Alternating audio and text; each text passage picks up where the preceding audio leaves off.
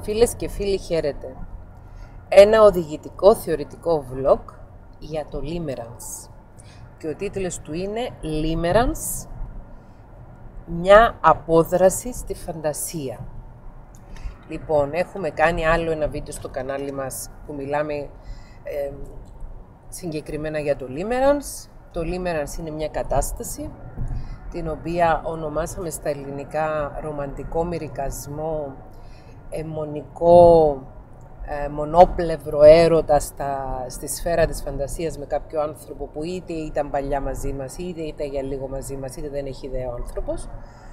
Και από ό,τι έχω καταλάβει και από τις γνώσεις που έχω και την εμπειρία που έχω ως ψυχολόγος τόσα χρόνια, αλλά και από ό,τι έχω καταλάβει και από τον εαυτό μου στο παρελθόν και από ό,τι έχω καταλάβει και από τα μηνύματα και τα mail που παίρνω από εσάς, αρκετοί άνθρωποι ταυτίστηκαν με αυτό το βίντεο και άρχισαν να προβληματίζονται και να λένε ρε παιδί μου, μήπως και εμένα μου συμβαίνει αυτό. Επίσης μια φίλη έκανε μια ερώτηση κάτω από το βίντεο για το Limerence και ρώτησε έχουν κάποια κοινά χαρακτηριστικά προσωπικότητας οι άνθρωποι οι οποίοι παρουσιάζουν Limerence, ε, αυτό τον ερωτικό μυρικασμό ε, και το μονόπλευρο αιμονικό έρωτα ή τον ε, έρωτα, τον τον αιμονικό έρωτα χωρίς ανταπόκριση, έχουν κάποια χαρακτηριστικά στην προσωπικότητα τους ή έχουν κάποια κοινά στην παιδική τους ηλικία και της είπα ναι. Και ξεκινάω με αυτό το βίντεο, με, αυτό, με την απάντηση στο ερώτημα αυτό, αυτό το διηγητικό θεωρητικό βίντεο και λέγοντας ότι είναι παρατηρημένο ότι σε λίμερανς επιδίδονται οι άνθρωποι οι οποίοι πάσχουν από σύνθετη διαταραχή μετατραυματικού στρες, και όπως έχουμε πει πάρα πολλές φορές τον τελευταίο καιρό, η σύνθετη διαταραχή μετατραυματικού στρες είναι μια διαταραχή ομπρέλα, θα την έλεγα. Έχουμε πει ξανά ότι ακόμη δεν βρίσκεται μέσα στον DSM, έχει περιληφθεί στην τελευταία έκδοση του ICD-11 το 2008 ως ξεχωριστή διαταραχή. Είναι όμως η καυτή πατάτα της ψυχοπαθολογίας θα έλεγα και είναι και το ε, το στοιχείο με το οποίο πιστεύω εγώ προσωπικά ως ψυχολόγος ότι θα ασχοληθεί η έρευνα τα, τα, επόμενα χρόνια.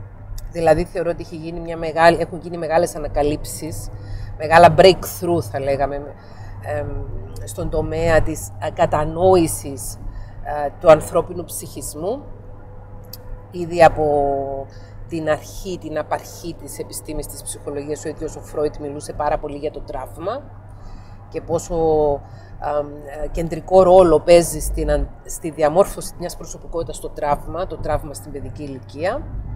Ε, έχω μιλήσει έτσι ε, ε, αρκετά για το τραύμα στην παρουσίαση που έκανα την Παρασκευή που μας πέρασε που ήταν η Παγκόσμια Μέρα κατά της βίας κατά των γυναικών αυτή που έχω ανεβάσει και στο κανάλι. Εκεί πέρα μπορείτε να δείτε είναι και η ε, η παρουσίαση που του είναι και γραπτός σε αυτά τα στοιχεία για το τι, τι συνιστά τραύμα και τι σημαίνει το τραύμα.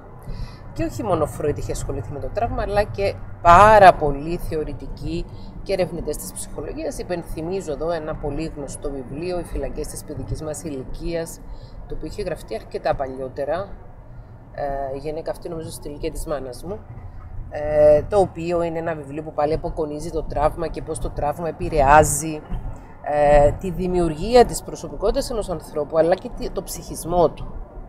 Λοιπόν, όσοι έχουμε μεγαλώσει σε συνθήκες που δεν ήταν ψυχικά υγιεινές, όσοι έχουμε μεγαλώσει με ξύλο, με φωνές, με τιμωρίες, με υποτίμηση, με συναισθηματική παραμέληση, με προσβολές, με ντρόπιασμα, με, με κακόγουστα και ε, προκλητικά και ατιμωτικά αστεία, όσοι έχουμε μεγαλώσει νιώθοντας ότι δεν είμαστε αξιαγαπητοί και ότι έχουμε τόσα πολλά αρνητικά πάνω μας που κανείς δεν θα μπορέσει να μας αγαπήσει. Εδώ η ίδια μας η μάνα δεν μας αγάπησε, ο ίδιος μας ο πατέρας δεν μας αγάπησε.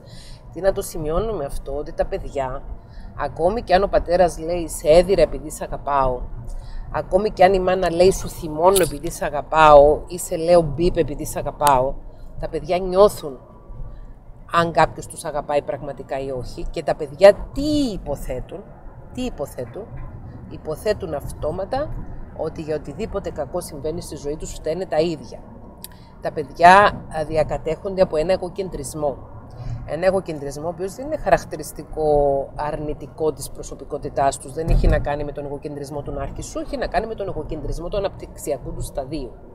Όσο πιο μικρά είναι τα παιδιά, τόσο περισσότερο θεωρούν ότι οτιδήποτε συμβαίνει έχει άμεση σχέση με αυτούς και ότι αυτοί ευθύνονται για ό,τι συμβεί.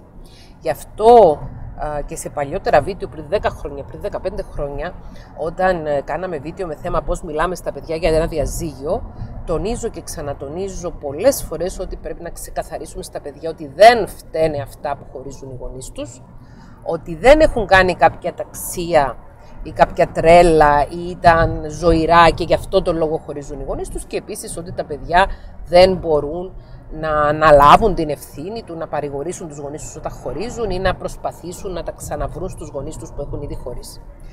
Τα παιδιά είναι εγωκεντρικά λόγω αναπτυξιακού σταδίου και προσλαμβάνουν οτιδήποτε συμβαίνει ως αποτέλεσμα των δικών τους πράξεων, των δικών τους στάσεων και του εαυτού τους. Δηλαδή, με χτυπάει τώρα η μάνα μου, φταίω εγώ. Με βρίζει τώρα ο πατέρας μου, φταίω εγώ. Με έβαλαν τιμωρία, φταίω εγώ. Μου είπαν ότι είμαι άχρηστος, φταίω εγώ. Μου είπαν ότι θα μείνω ένας αγράμματος ε, άνθρωπος, αμόρφωτος, γιατί είμαι τεμπέλης, φταίω εγώ. Μου είπαν ότι δεν θα δω ποτέ άσπρη μέρα στο μέλλον επειδή έχω κακά χαρακτηριστικά και επειδή μοιάζω στον παππού μου τον τάδε που ήταν μαλάκας, φταίω εγώ. Έχουν δίκιο οι γονείς πάντα και τα παιδιά θεωρούν οτιδήποτε τους έχουν πει οι γονείς τους ότι τα χαρακτηρίζει ότι ισχύει. Άρα λοιπόν, τα παιδιά τα οποία έχουν μεγαλώσει χωρίς αγάπη, χωρίς πραγματική αγάπη, έστω και αν υπήρχαν δηλώσεις αγάπης, έστω και αν υπήρχαν declarations, διακηρύξεις αγάπης, εμείς αγαπάμε, οι γονείς αγαπάνε τα παιδιά τους, ε, σαν την αγάπη της μάνας δεν έχει και έχουν και αυτές τις μέρες της μάνας και τις μέρες του πατέρα και όλες αυτές τις εορτές, τέτοιες μπλε και ροζ, λιλά, βούξια, πορτοκαλί και πράσινες μη σας πω. Τα παιδιά τα οποία έχουν μεγαλώσει με ελλείψεις συναισθηματικές, τα παιδιά τα οποία έχουν μεγαλώσει με μια αδιόρατη ψυχική βία ή και μια φανερή σωματική βία, αυτά τα παιδιά μεγαλώνοντας είναι πεπισμένα ότι είναι αναξιαγάπητα, ότι δεν τους αξίζει να αγαπηθούν, ότι είναι παλιοχαρακτήρες, ότι είναι άσχημοι, ότι είναι δυσάρεστοι προς τους άλλους και γενικότερα έχουν μία εξαιρετικά αρνητική εικόνα του εαυτού τους. Αυτή η αρνητική εικόνα του εαυτού του παιδιού, το οποίο έχει μεγαλώσει σε ένα περιβάλλον ελληματικό στην καλύτερη περίπτωση και εξαιρετικά ξεκάθαρα κακοποιητικό στη χειρότερη περίπτωση. Ξαναλέω όμως ότι η αδιόρατη κακοποίηση όπως η συναισθηματική παραμέληση είναι εξίσου σοβαροί παράγοντες, είναι εξίσου σοβαρά τραύματα για να δημιουργήσουν τη σύνθετη διαταραχή μετατραυματικού στρες και τη χαμηλή αυτοεκτίμηση που είναι κύριο χαρακτηριστικό των πάλε ποτέ κακοποιημένων παιδιών. Και όχι μόνο πάλε ποτέ, όχι ότι παλιά στο παρελθόν είχαν κακοποιηθεί, αλλά όπως έχουμε συζητήσει αναλυτικά τον τελευταίο καιρό εδώ στο ψυχοεκπαιδευτικό μας κανάλι, ε, η όποια επαφή έχουν τα ενήλικα κακομίνα παιδιά με τους κακοποιητές τους είναι επαφή η οποία έστω και αν δεν είναι αρνητική στη φύση της αναπόφευκτα ξυπνάει το τράφο. Λοιπόν, έχουν κάποια κοινά χαρακτηριστικά οι άνθρωποι οι οποίοι επιδίδονται σε limerence, ναι έχουν. Είναι παιδιά τα οποία έχουν μεγαλώσει στερημένα από αγάπη. Τα οποία έχουν μεγαλώσει με όλη αυτή την κατάσταση που περιέγραψα τα προηγούμενα 6-7 λεπτά. Οπότε, όταν ένας άνθρωπος βιώνει κίνδυνο, βιώνει ψυχικό πόνο, χρησιμοποιεί κάποιους μηχανισμούς άμυνας προκειμένου να επιβιώσει και προκειμένου να απαλύνει τον πόνο του.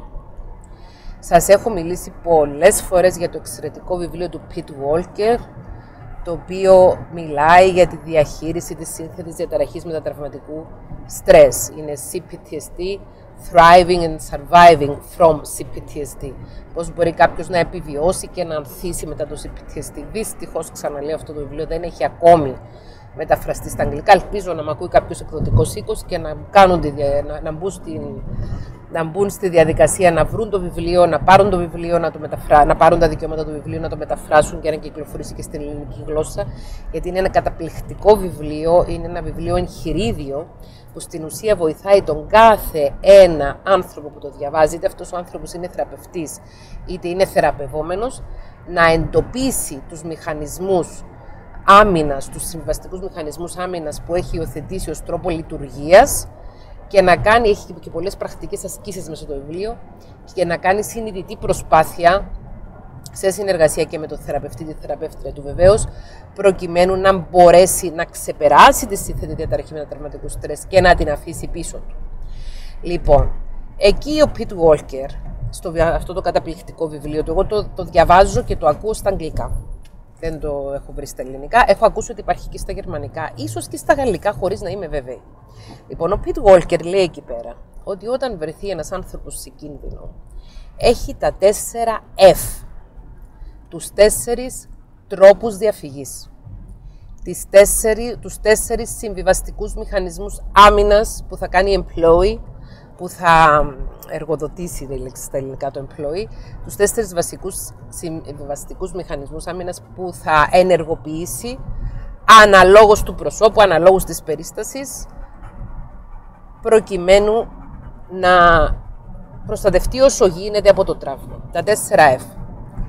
Το πρώτο είναι το fight, το flight και τώρα εδώ ταιριάζει, έρχεται και ταιριάζει και η προγενέστερη θεωρία για το στρες και το άγχος που είναι το fight or flight theory που λέει ότι αγχωνόμαστε, όταν αγχωνόμαστε είναι όταν νιώθουμε έναν όταν στρεσαριζόμαστε νιώθουμε έναν κίνδυνο ψυχολογικό αλλά επειδή λέει το σώμα μας είναι πρωτόγονο και λειτουργεί με πρωτόγονους μηχανισμούς άμυνας. Άμα νιώσουμε ένα κίνδυνο του στυλ, έρχεται πεθερά μας να μείνει μαζί μας για δύο μήνες, με την οποία δεν έχουμε και ιδιαίτερα καλή σχέση και τέριασμα, τότε λέει ο οργανισμός μας αντιδρά σαν πως και έρχεται ένα λιοντάρι να μας κατασπράξει, έρχεται ξέρω εγώ, μια φυσική καταστροφή να δημιουργήσει ζήτημα στη, στη λειτουργικότητα τέλος πάντων της αρχαίας πρωτόγονης φυλής και στην επιβίωση της. Οπότε λέει ε, ξεκινάει το σύστημα fight or flight που ανεβαίνουν οι καρδιακοί παλμοί, πάει περισσότερο αίμα στον εγκέφαλο, αυξάνεται η πίεση, σφίγγουν οι μυς και το, ο άνθρωπος είναι έτοιμος είτε να παλέψει fight είτε να πετάσει, να αποδράσει για να γλιτώσει από τον κίνδυνο. Λοιπόν, ο Pete Walker στο βιβλίο του για τη σύνθετη διαταραχή μετατραυματικού στρες μιλάει για τα 4F. Το πρώτο F είναι το fight, δηλαδή παλεύω. Το δεύτερο F είναι το flight, δηλαδή πετώ.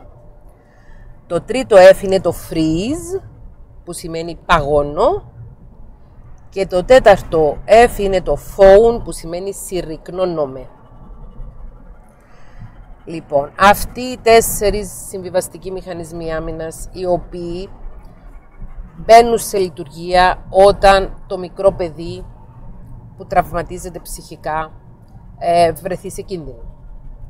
Και αναλόγως με την προσωπικότητα του καθενός, αναλόγως με την κληρονομικότητα του καθενός, αναλόγως με τα χαρακτηριστικά της προσωπικότητάς του, αναλόγως με τις συνθήκες, μπορεί να καταφύγει είτε στο, είτε στο fight, είτε στο flight, είτε στο freeze, είτε στο phone και μάλιστα υπάρχουν και κάποιοι άνθρωποι οι οποίοι έχουν κάποια μοντέλα ανταπόκρισης στον κίνδυνο, τα οποία είναι συνδυαστικά. Δηλαδή, μπορεί να έχουν μέσα και fight, μπορεί να έχουν μέσα και phone. Μπορεί να έχουν μέσα και fight, μπορεί να έχουν και flight. Μπορεί να έχουν μέσα freeze, μπορεί να έχουν και flight. Λοιπόν, freeze σημαίνει παγώνω.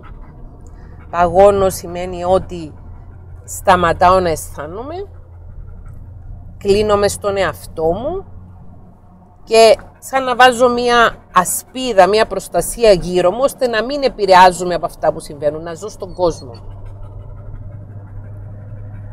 Και φων σημαίνει συρρυκνώνομαι, σημαίνει γίνομαι ένας συνεξαρτώμενο ανθρωπάκι, το οποίο προσπαθεί συνεχώς να καταλάβει τι μπορεί να θέλει ο κακοποιητής του για να τον ευχαριστήσει τον κακοποιητή ή την κακοποιήτρια, για να ευχαριστήσει το θήτη του ή τη θήτριά του και οι μητέρες είναι κακοποιήτριες, όχι μόνο πατέρες κακοποιητές. Και έτσι να αναπτύξει το μηχανισμό, το συμβαστικό μηχανισμό άμυνας της του να γίνει ανθρώπινος ευχαριστητής, του people pleasing, για να ευχαριστήσει τους άλλους. Το limerence λοιπόν είναι μία φυγή στη φαντασία. Δηλαδή, κατά τη γνώμη μου, είναι μη, ένας συνδυασμός του μηχανισμού άμυνας του flight, του διαφεύγω, πετάω, φεύγω και του freeze, που σημαίνει παγώνω. Παγώνω και κλείνομαι στον εαυτό. Όταν ένας άνθρωπος βιώνει τραύμα, σας λέω αυτή είναι μια δική μου εκτίμηση, δεν θυμάμαι ακριβώς τώρα πώς το, πώς το εξηγεί το Limerence, γιατί μιλάει για το Limerence ο Pete Walker στο βιβλίο του και μιλάει για το Limerence ως ένα συμβιβαστικό μηχανισμό άμυνας. Το δεύτερο μισό του βίντεο επιστρέφουμε. Σταμάτησα το βίντεο στο σημείο εκείνο. Γιατί; Για δύο λόγους. Ο πρώτος λόγος ήταν ότι ήθελα να το ψάξω λίγο καλύτερα, αν υπάρχει κάπου στη βιβλιογραφία α, αν το Limerence είναι συνδυασμός αυτών των δύο συμβιβαστικών μηχανισμών άμυνας που σας είπα, του flight και του freeze. Δεν βρήκα κάτι σχετικό. Μάλιστα, έπεσα και πάνω σε ένα βίντεο της Dr. Ramani, που είναι, μου αρέσει πάρα πολύ η Dr. Ramani, είναι μια κλινική ψυχολόγος με καταγωγή από την Ινδία, η οποία ζει και εργάζεται στην Αμερική και έχει ένα καταπληκτικό κανάλι που μιλάει για τα πάντα για τον ερκισισμό. Η οποία και αυτή είχε κάνει τυχαία, δεν, δεν τυχαία να το δω, ένα βίντεο πριν δύο μήνες για το Limerence και είπε ότι και εκείνη έψαξε πολύ, έψαξε πολύ και δεν βρήκε να είναι ε, μελετημένος και ερευνημένος ο όρος επιστημονικά ακόμη και ανέφερε και αυτή το βιβλίο εκείνης της ψυχολόγους το, το 1978 που ήταν On Love and Limerence και λέει δεν έτυχε να το διδαχτώ στο πανεπιστήμιο, όταν τελείωσα εγώ λέει την ειδικότητα που δεν υπήρχε, τα ίδια. Λοιπόν, δεν έχει σημασία α, πώς θα το ορίσουμε θεωρητικά. Αυτό που έχει σημασία είναι ότι όταν επιδιδόμαστε σε Limerence, διαφεύγουμε από την πραγματικότητα. Το Limerence, ο ρομαντικός μυρικασμός, είναι μία κατάσταση μέσα στο μυαλό μας. Άρα, όταν νιώθουμε ότι έχουμε πρόβλημα και ότι μπορεί να βιώσουμε πόνο, ενστικτοδός, γιατί είπαμε ότι οι συμβαστικοί μηχανισμοί άμυνας είναι μηχανισμοί τους οποίους χρησιμοποιούσαμε στην παιδική μας ηλικία είτε για να μουδιάσουμε τον πόνο μας, είτε για να, είτε για να αποφύγουμε τον πόνο μας, ε, για προσπάθεια αποφύγης του πόνου η οποία στο τέλος της ημέρας δεν έχει αποτέλεσμα και γι' αυτό ε, εξακολουθεί το παιδί να τραυματίζεται και εξακολουθεί να έχει ζητήματα και εξακολουθεί στην ενήλικη ζωή να ακούει θα κλαπετρίδου ή διάφορα άλλα ψυχοεκπαιδευτικά βίντεο και να προσπαθεί να βγάλει άκρη, κάνει ψυχοθεραπείες κλπ. κλπ. Δεν έχει σημασία πώς θα το ονομάσουμε, πώς θα το εξηγήσουμε θεωρητικά. Είπαμε ότι όλα αυτά είναι ε, πολύ φρέσκα στην επιστήμη της ψυχολογίας και των σχέσεων και τώρα έχουν αρχίσει να μελετούνται και τώρα έχουν αρχίσει να κατηγοριοποιούνται. Μάλιστα βρήκα και ένα άρθρο του Pete Walker ο οποίος λέει ότι ενοχλείται γιατί η, το APA, η Αμερικανική Ψυχιατρική Εταιρεία, λέει είναι πολύ reluctant, είναι πολύ διστακτική στο να α, καταχωρήσει ως διαταραχή τη διαταραχή uh, attachment disorder in childhood. Το πρόβλημα, το, το διαταραχή ε, στενού ε, συναισθηματικού δεσμού στην παιδική ηλικία. Γιατί λέει θα ανοίξουν οι ασκοί του αιώλου και θα αναγκαστούμε ως κοινωνία να παραδεχτούμε ότι τα περισσότερα παιδιά κακοποιούνται από τους ίδιους τους, τους γονείς και ότι ως κοινωνία δεν προστατεύουμε τα πιο ευαίσθητα μέλη μας από την κακοποίηση. Λοιπόν, όπως ένα παιδί το οποίο είναι δυστυχισμένο και δεν θέλει να νιώθει άλλο δυστυχισμένο και είναι 5 χρονών εκείνο το παιδί και είναι 10 χρονών και είναι 15 μπαίνει σε μια διαδικασία να διαφύγει από την άσχημη πραγματικότητα της ζωής του με το να φαντασιώνεται αγάπες και έρωτες. Το έχω γράψει στο πρώτο μου βιβλίο, στο βιβλίο Ανατομία μιας γυναίκας, ότι σε μια ηλικία 5 ετών ήμουν ερωτευμένη με έναν πρίγκιπα. Με έναν πρίγκιπα πάνω στο προάλογο, από τα πραμύθια και έχω μιλήσει χωρίς να έχω χρησιμοποιήσει τη λέξη limerence, ε, ερωτικός μυρικασμός και ψυχαναγκαστικό ή ερωτική φαντασίωση με ένα πρόσωπο το οποίο δεν είναι μαζί μας. Ε, και το είχα εξηγήσει ότι αν ε, ένας άνθρωπος είναι δυστυχισμένος, αν ένα παιδί είναι δυστυχισμένο, αν ένας έφηβος είναι δυστυχισμένος, η pop κουλτούρα του έχει δώσει τη διαφυγή η οποία είναι διαφυγή δια του ρομάντζου. Και επειδή σίγουρα ένα παιδί δεν μπορεί να δημιουργήσει ρομάντζο για διάφορους λόγους και για λόγους ηλικίας και αναπτυξιακούς σταδίου αλλά και για λόγους ψυχικής κατάστασης κλπ. κλπ το ρομάντζο δημιουργείται στη φαντασία. Και έχουμε πει πολλές φορές για αυτούς τους ρομαντικούς εφηβικούς έρωτες, τους ανεκπλήρωτους, που κάθονται οι μαθήτρε και μιλάνε μεταξύ τους για το Γιαννάκι, για τον Κωστάκη, για τον Γιωργάκη, που μας είδε στο διάλειμμα, που, μα, που χαμογέλασε και ίσως αυτό το χαμόγελο να σήμαινε κάτι για το ότι έχει συστήματα για μας και ούτω καθεξής. Ένας ενήλικας άνθρωπος τώρα, ο οποίος μπορεί να είναι single, μπορεί να είναι και παντρεμένος ή μέσα σε μια σχέση συμβίωσης, σε μια μακρόχρονη σχέση, ο οποίος είναι ψυχοσυναισθηματικά ανώριμος και δεν έχει ακόμη αντιμετωπίσει τα ζητήματα του και δεν έχει ακόμη συγυρίσει τους εσωτερικούς του δαίμονες, δεν έχει ψυχοψαχτεί αρκετά, δεν έχει ψυχοεκπαιδευτεί αρκετά, δεν έχει ψυχοθεραπευτεί αρκετά. Ένας άνθρωπος ο οποίος σου λέει «εγώ μια χαρά είμαι, δεν έχω κανένα πρόβλημα», ναι, μπορεί να με χτυπούσε ο πατέρας μου, αλλά έγινα καλύτερος άνθρωπος ή ναι μωρέ, όλους μας θύμωναν, γιατί, γιατί, τα, γιατί, τα, γιατί τα μεγαλοποιείτε τώρα ή όλοι οι γονείς έτσι ήταν. Ε, τύποι οι οποίοι μιλάνε για το τίμα τον πατέρα σου και τη μητέρα σου και όλα αυτά τα σχετικά. Οι άνθρωποι ακόμη που αναγνωρίζουν ότι έχουν κακοποιηθεί στην παιδική τους ηλικία, αναγνωρίζουν ότι οι γονείς τους υπήρξαν θύτες, έχουν θύμο με τους θύτες, αλλά ακόμη βρίσκονται σε ένα στάδιο αυτολύπησης. Και όχι αυτοσυμπόνια, σε ένα πρόσφατο βίντεο που κάνω. Λοιπόν, ε, όταν ένας άνθρωπος βρίσκεται σε μια δύσκολη συναισθηματική κατάσταση, όταν οποιοδήποτε ρέθισμα ξυπνά το CPTSD του, ξυπνά τη σύνθετη διαταραχή μετατραυματικού στρες που κουβαλάει και το βάζει σε μια συναισθηματική αναδρομή και μπαίνει στο σημείο να σκέφτεται και να νιώθει όπως όταν ήταν παιδί απροστάτευτο και αδύναμο, τότε είναι πολύ πιθανό να πώς θα το πω, να α, παρουσιάσει λίμεραν σε αυτό το άτομο ως μια διαφυγή φαντασιακή από τη σκληρή πραγματικότητα. Δηλαδή είμαι 30 χρόνων, είμαι single, είμαι γυναίκα, είμαι single, είμαι 30 χρόνων, ζω με τους γονείς μου, ε, δουλεύω σε μια δουλειά που δεν μου αρέσει, παίρνω ένα πολύ χαμηλό μισθό, Λυπάμαι πάρα πολύ τον εαυτό μου που είμαι τόσο δυστυχισμένο και τόσο κακοποιημένο παιδί. Ε, είμαι πεπισμένη ότι δεν μπορώ να ξεφύγω από αυτή τη συνθήκη γιατί είναι οικονομική κρίση το ένα το άλλο κλπ. κλπ. Και το βασικότερο μου πρόβλημα είναι ότι έχω ερωτευτεί έναν τύπο ο οποίος έρχεται στη δουλειά μου, ξέρω εγώ, ένα messenger, ένα διανομέα που φέρνει κάποια πράγματα και τον έχω δει και μου άρεσε ε, και έχουμε πει και ένα καλημέρα και ένα καλησπέρα και έχουμε ανταλλάξει και δύο-τρεις κουβέντες. Και εγώ έχω ερωτευτεί αυτόν τον τύπο και εγώ ε, ε, κάθομαι μέρα νύχτα και σκέφτομαι αν πρέπει να του το πω. Ε, φαντάζομαι πώς θα είναι όταν θα τα φτιάξουμε ε, κατασκοπεύω τα social media του, τον ακολουθώ στο Instagram, έχω κάνει ένα ψεύτικο λογαριασμό, μπαίνω στο Instagram και τον παρακολουθώ. Είναι, είναι τυχαίο αυτό το περιστατικό, φανταστικό, αλλά συμβαίνουν. Ή τον παρακολουθώ στο Facebook κλπ. Και, και γενικά όλη την ημέρα από το πρωί μέχρι το βράδυ το μυαλό μου, μέσα στο μυαλό μου κατοικεί όλος αυτός ο ερωτισμός, ο φαντασιακός, ο ψυχαναγκαστικός, ο ψεύτικος, ο οποίος αποτελεί μια διαφυγή στη φαντασία από τον πραγματικό πόνο. Άρα όταν θα γράψω εγώ γράμμα στη ψυχολόγο, δεν θα γράψω κυρία Θέκλα γεια σου. Είμαι η Μαρία και είμαι θυμωμένη με τον εαυτό μου που δείχνω τόση αδυναμία να αναλάβω την ευθύνη μου και να κάνω,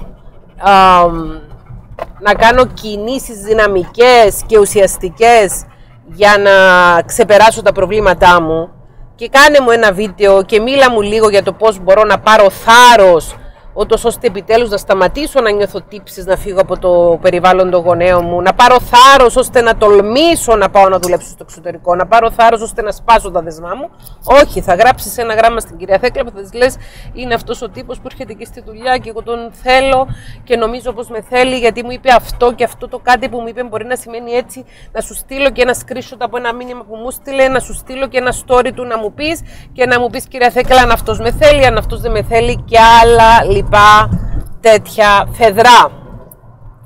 Με το Λίμερανς επίσης ασχολούνται και άνθρωποι παντρεμένοι, οι οποίοι έχουν τα πραγματικά προβλήματα ενός γάμου, μπορεί να έχουν μικρά παιδιά, μπορεί να έχουν ε, οικονομικά προβλήματα, μπορεί να έχουν ζητήματα να διαχειριστούν, μπορεί να έχουν ένα τρελό σκύλο για παράδειγμα, που λέμε τώρα, μπορεί να έχουν ζητήματα να διαχειριστούν τα οποία τους φαίνονται πάρα πολύ δύσκολα και έτσι αυτή η γυναίκα η παντρεμένη, αυτός ο άντρας ο παντρεμένος, ο οποίος είναι 5-6 χρόνια μέσα στο γάμο του, μέσα στο γάμο της, είναι μέσα στη, στην καρδιά των προβλημάτων ενός γάμου, ξαφνικά αναπτύσσει λίμερανς για ένα συνάδελφο, για μια συνάδελφο και όλη μέρα από το πρωί μέχρι τη νύχτα αντί να σκέφτεται τι να κάνει με το πώς να διαχειριστεί τα παιδιά του, τα σκυλιά του. Καταλαβαίνετε πώ εγώ πρέπει να διαχειριστώ το σκυλί μου, ναι. Πώς να διαχειριστεί τα πραγματικά προβλήματά του, απασχολεί τον εαυτό του και τους άλλους ανθρώπους γύρω του, τους έμπιστους του ανθρώπου, την καλύτερη της φίλη, τον καλύτερο της φίλου κλπ. κλπ. Με όλον αυτό το μυρικασμό για εκείνο το πρόσωπο το οποίο βρίσκεται εκτός της πραγματικής του ζωής. Και πολλές φορές εκείνο το πρόσωπο δεν έχει και ιδέα. Ή αν έχει και ιδέα δεν συνενεί. Και σίγουρα δεν είναι μαζί με εκείνο το πρόσωπο.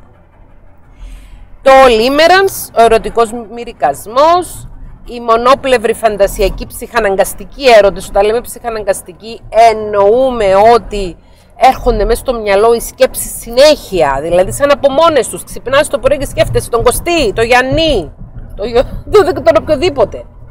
Σκέφτεσαι, θα το δω, δεν θα το δω, θα μου μιλήσει, δεν θα μου μιλήσει, θα γίνει το ένα, δεν θα γίνει το ένα και ούτω καθεξής. Και σκέφτεσαι και σκέφτεσαι και σκέφτεσαι και σκέφτεσαι και όλη μέρα ασχολείσαι και όλη μέρα βλέπεις το Instagram, βλέπεις τα stories, βλέπεις τα posts, βλέπεις τις καρδούλες, τι που έχει καρδουλιάσει, που δεν έχει καρδουλιάσει, άνθρωπος που δεν είναι δικό σου. Άνθρωπος που δεν είστε μαζί, άνθρωπος που δεν έχετε σχέση, άνθρωπος με τον οποίο δεν έχετε ουσιαστικά οποιαδήποτε σύνδεση. Αλλά εσύ έχεις κολλήσει εκεί πέρα και ασχολείσαι. Ή ένας άνθρωπος ο οποίος πηδήχτηκε μαζί σου ένα Σαββατοκύριακο Πήγε σε ένα ταξίδι, ξέρω εγώ, στο εξωτερικό, πήγε σε ένα συνέδριο, είσαι παντρεμένη, είσαι παντρεμένος, πήγε σε ένα συνέδριο. Βρέθηκε κάποιος ο οποίος πήγε και αυτός στο συνέδριο και ήθελε να ξεχαρμανιάσει. Sorry που τα λέω έτσι. Περάσατε ένα ειδήλιο εντός εισαγωγικών ένα 24ωρο και μετά πήγε σπίτι του άλλος, πήγε σπίτι της άλλη και σε είχε κάνει μπλοκ από παντού γιατί λέει Μα είναι τρελός αυτός. Εγώ ήθελα απλώς ε, να κάνω κάτι ευκαιριακό και αυτός θέλει σχέση. Πώς θα κάνουμε σχέση να, να, να είμαι εγώ, ξέρω εγώ, στην Αργεντινή και ο άλλος να είναι, ξέρω εγώ, στη Νέα Υόρκη, π.χ. Και μιλάμε για κόλλημα ξεκάθαρο, ε, αιμονικό πάνω σε εκείνο το πρόσωπο. Και να ξεχνάμε όλα μας τα προβλήματα, να ξεχνάμε όλα μας τα ζητήματα. Μπορεί να τύχει ένα ελεύθερο πρόσωπο. Πρόσφατα είχα ακούσει μια ιστορία για ένα ελεύθερο πρόσωπο. Το οποίο είχε πάει κάπου ταξίδι, Εκεί σε εκείνο το ταξίδι συνάντησε κάποιο πρόσωπο το οποίο δεν ήξερε, δεν ξέρει αν αυτό το πρόσωπο είναι ελεύθερο, είναι δεσμευμένο, είναι σύγκολη, όχι. Ένας άνθρωπος από την άλλη άκρη του Ατλαντικού, ο οποίος πήγε στο συνέδριο. Πέρασαν ένα Σαββατοκύριακο μαζί και μετά δεν μου στέλνει μήνυμα, δεν μου τηλεφωνάει, δεν με βγαίνει στο Viber, δεν κάνουμε βιντεοκλήση, δεν, δεν, δεν, δεν, δεν, ολόκληρη ιστορία. Και λέω, παιδί μου, ήταν ένα Σαββατοκύριακο. Δεν έχω πρόβλημα να πας να ξεδώσεις. Σύγκολα άτομο είσαι, μόνος σου είσαι, μόνη σου είσαι, δεν απατάς κανένα, δεν απατάς καμιά, πήγαινε να ξεδώσεις. Να έχεις όμως στο μυαλό σου ότι αυτό που γίνεται τώρα είναι μόνο αυτό που γίνεται τώρα. Όχι να παραμυθιάζεις τον εαυτό σου και να μπαίνεις σε μια διαδικασία που να έχεις μια ολόκληρη εξάρτηση με ένα πρόσωπο με το οποίο συναντήθηκε τυχαία και επιδείχτηκε τυχαία. Sorry που μιλάω έτσι. Άρα το λίμερας μπορεί να αναπτυχθεί είτε για ένα πρόσωπο που δεν έχει ιδέα, δεν έχει ιδέα ότι εμείς είμαστε κολλημένοι πάνω του, είτε με ένα πρόσωπο το οποίο είχε μαζί μας ένα σύντομο, ε, μια σύντομη συνάντηση, ε, σωματική, συναισθηματική κλπ. Και δεν είχε σκοπό να τη συνεχίσει και εμείς κολλήσαμε. Ή ένα πρόσωπο που είχε μαζί μας έστω και μια σχέση που πήγε μερικούς μήνες και μετά εκείνο το πρόσωπο μαζί μας ξέρεις: Εγώ χωρίζω. Χωρίζουμε. Αλλά εσύ έχεις μείνει εκεί, κολλημένος, κολλημένη, τι θέλω. Ή βγήκαμε δυο ραντεβού, πρέπει να είναι μαζί μου, πρέπει να είναι. Αυτά. Λοιπόν, το limerence στην ουσία είναι ένας συμβιβαστικός μηχανισμός άμυνας για να αποσπούμε την προσοχή μας από τα πραγματικά μας προβλήματα και για να νιώθουμε την ψευδέστηση ότι έχουμε σοβαρά ζητήματα να ασχοληθούμε, ογκόμενος και εγκόμενα, που δεν έχουν ιδέα οι άνθρωποι ότι είναι ογκόμενος μας ή εγκόμενά μας, που τα έχουμε μόνο εμείς μαζί τους, αυτοί δεν έχουν τίποτα μαζί μας. Και δυστυχώς είναι ένα φαινόμενο το οποίο συμβαίνει πάρα πολύ συχνά. Και δυστυχώς η pop κουλτούρα το ενθαρρύνει αυτό το φαινόμενο. Το φαινόμενο. Και το παρουσιάζει σαν μια συνθήκη η οποία είναι, είναι έρωτας, είναι καψούρα. Όχι! Είναι μανούρα. μανούρα. Μανιούαρ στα... Δεν ξέρω τι σημαίνει στα ελληνικά το μανούρα. Ε, μανούρ είναι το τυρί. Μανιούαρ στα αγγλικά σημαίνει τα περιπτώματα του βοδιού νομίζω. Δεν είναι, δεν είναι έρωτας αυτό το πράγμα, δεν είναι αγάπη αυτό το πράγμα. Είναι κάτι ψυχοπαθολογικό, είναι κάτι αρρωστημένο, το οποίο μας παταλάει το χρόνο μας και ουσιαστικά δεν μας δίνει ούτε χαρά. Δηλαδή, αποφεύγουμε να κοπιάσουμε για να επιλύσουμε τα πραγματικά μας προβλήματα που είναι μέσα μας, το ξαναλέμε, είναι εσωτερικοί μας δαίμονες κλπ. κλπ, κλπ.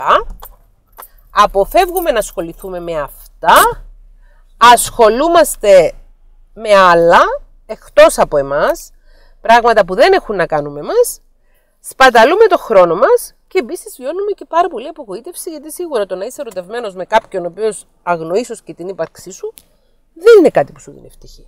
Άρα δεν είναι πραγματική αγάπη αυτό το πράγμα. Δεν είναι ερωτική σύνδεση. Είναι μια ψυχοπαθολογική αντίδραση, ένας συμβιβαστικός μηχανισμός άμυνας του οργανισμού, μια τεμπέλικη πράξη για να αποφύγει κάποιος τον πόνο. Να αποφύγει κάποιος τον ψυχικό πόνο και το ψυχικό κόπο του να ασχοληθεί ουσιαστικά με τα προβλήματά του. Αυτό είναι. Τίποτα άλλο. Τίποτα άλλο δεν είναι. Θα κατεβώ τώρα στο φαρμακείο και θα πω άλλα λίγα λόγια επιστρέφοντας. Λοιπόν, το τρίτο και τελευταίο μέρος του βίντεο. Αν έχετε ακούσει αυτό το βίντεο και αν έχετε αναγνωρίσει στον εαυτό σας ότι καταφεύγετε σε limerence και ότι είστε προσκολλημένοι, ψυχαναγκαστικά κολλημένοι πάνω σε μια φαντασιωτική ερωτική αγάπη ή σχέση. Αντάχετε μόνοι σας με κάποιον άλλον κλπ. κλπ. Παιδιά, δεν σας κοροϊδεύω, σας λέω στο παρελθόν, έχω υποπέσει και εγώ σε αυτή τη συνθήκη. Βεβαίως, έχω υποπέσει. Όλο το γυμνάσιο και όλο το λύκειο. Στο γυμνάσιο με έναν τύπο, στο λύκειο με έναν άλλον. Και μετά μεγαλώνοντας, νομίζω σε κάποιες φάσεις μου συνέβηκε. Νομίζω, σίγουρα μου συνέβηκε. Πιο μικρή. Πιο μικρή. Μετά είχα άλλα, είχα άλλα ψυχοκολικά.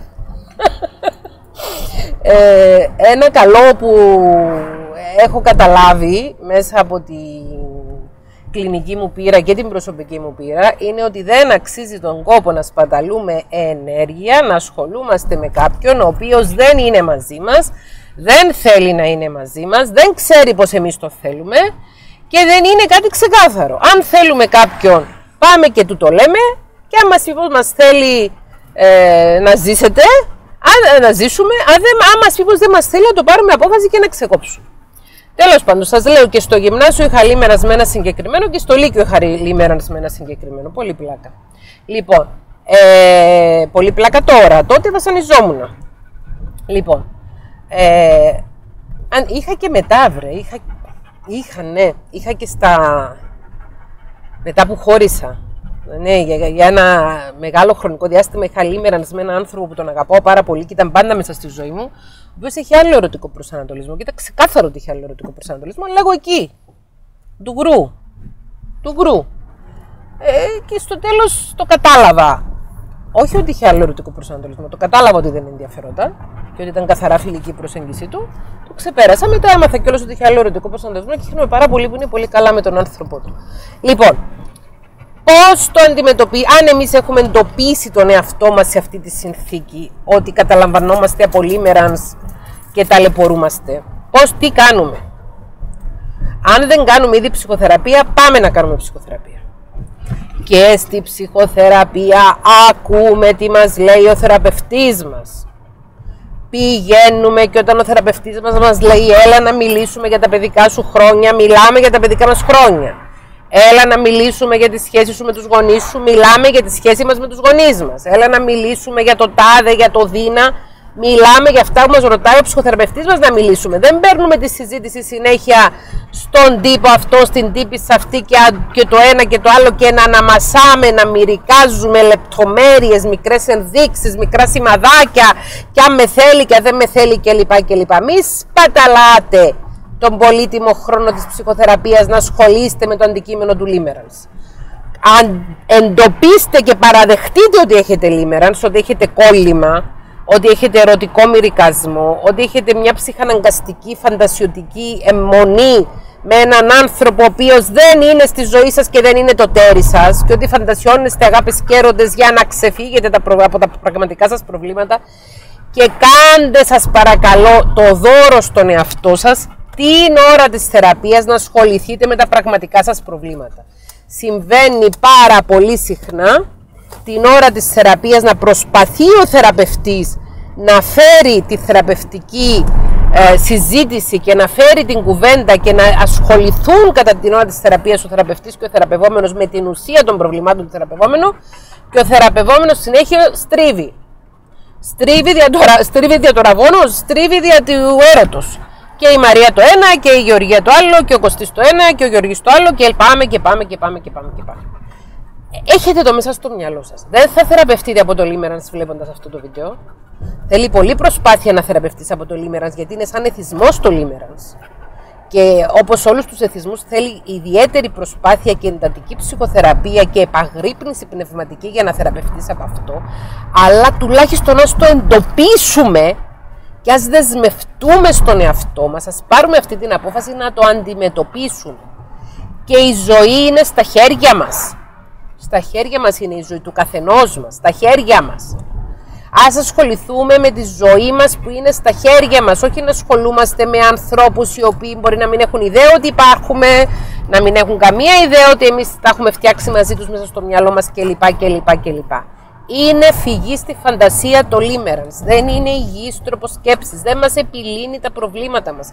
Το limerence δεν οδηγεί στη δημιουργία σχέσης. Η μόνη περίπτωση που μπορεί να οδηγήσει σε σχέση το limerence, ξέρετε ποια είναι; Να αποκτήσουμε λίμερανς με έναν άρκισο και αυτός ο νάρκισσος να καταλάβει ότι εμείς θα είμαστε το τέλειο θύμα επειδή δεν θα χρειαστεί καν να μας κάνει love bombing βομβαρδισμό αγάπης, έχουμε ήδη κάνει love bombing εμείς ήδη στον εαυτό μας διαμέσου του limerance και να εκμεταλλευτεί την κατάσταση τη δικιά μας του limerance για να δημιουργήσει μια ναρκιστική κακοποιητική σχέση μαζί μας. Οπότε είναι επικίνδυνο το limerance σε, από όλες τις απόψεις.